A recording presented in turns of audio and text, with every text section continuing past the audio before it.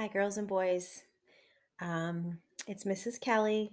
It's late today to be getting this message to you. If you can see out the window behind me, it's already dark out. And look who I have here with me. I don't know if you can see his face so good, but it's Tuukka.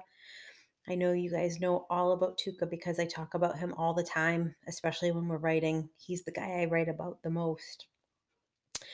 I'm sorry I didn't send you a story earlier today. It was a busy day in the Kelly house, and I was actually doing a lot of schoolwork trying to get some plans together for um, next week. So, um, but I wanted to make sure I got a video to you today, just a quick one.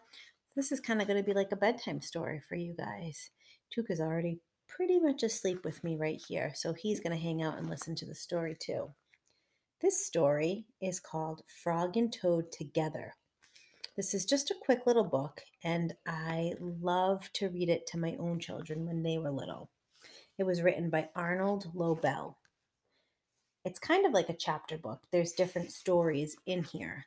But the one that was always my children's favorite that I'm going to read to you tonight is a story called Cookies.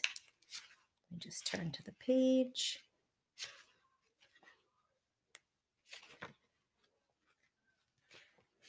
Here it is. Can you see that picture of Frog and Toad? So there's not a lot of pictures in this, so I'm just going to read it like this to you tonight. Cookies. Toad baked some cookies. These cookies smell very good, said Toad. He ate one. And they taste even better, he said. Toad ran to Frog's house. Frog, Frog, cried Toad, taste these cookies that I have made. Frog ate one of the cookies. These are the best cookies I have ever eaten, said Frog. And there's the picture again of Frog eating the cookie.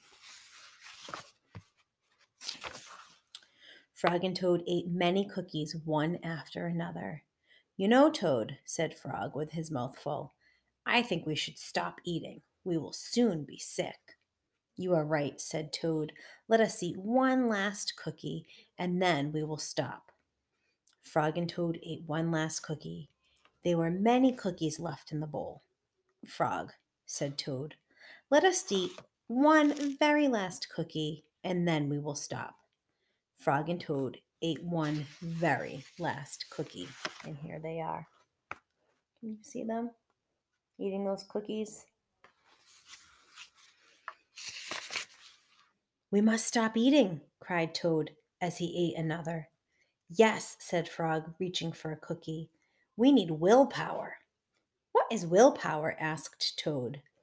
Willpower is trying hard not to do something that you really want to do, said Frog. You mean like trying not to eat all these cookies? asked Toad. Right, said Frog.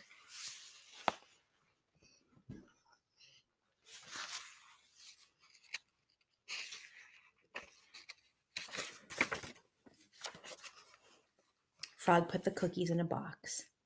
There, he said, now we will not eat any more cookies. But we can open the box, said Toad. Oh, that's true, said Frog. Frog tied some string around the box. There, he said, now we will not eat any more cookies. But we can cut the string and open the box, said Toad. That is true, said Frog. And here's a picture of them putting the cookies in a box and tying the string around it. Can you see that one? And that one? See, they're tying the string around it.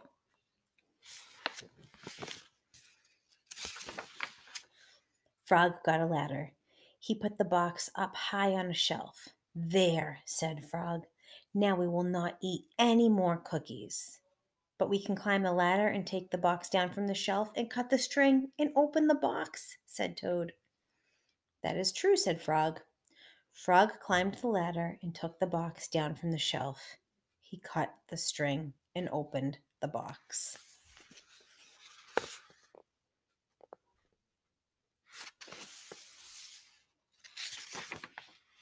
Frog took the box outside. He shouted in a loud voice, Hey, birds! Here are some cookies! Birds came from everywhere. They picked up all the cookies in their beaks and flew away. Now we have no more cookies to eat, said Toad sadly. Not even one. Yes, said Frog, but we have lots and lots of willpower. You may keep it all, Frog, said Toad. I am going home now to bake a cake. This is the picture, the little picture at the bottom. And that is the end of this chapter of Frog and Toad. Again, this is Frog and Toad. Here's the cover.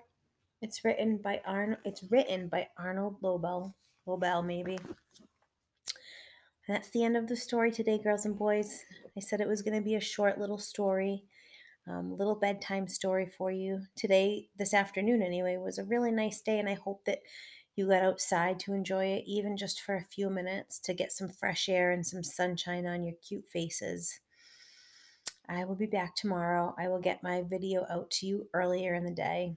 Um, and I might have a message with some sight words with me or a math lesson, um, but tomorrow will be a little longer. So, good night for now. I hope you had a great day and I hope you all have sweet dreams, and I will see you tomorrow. I miss you. Bye.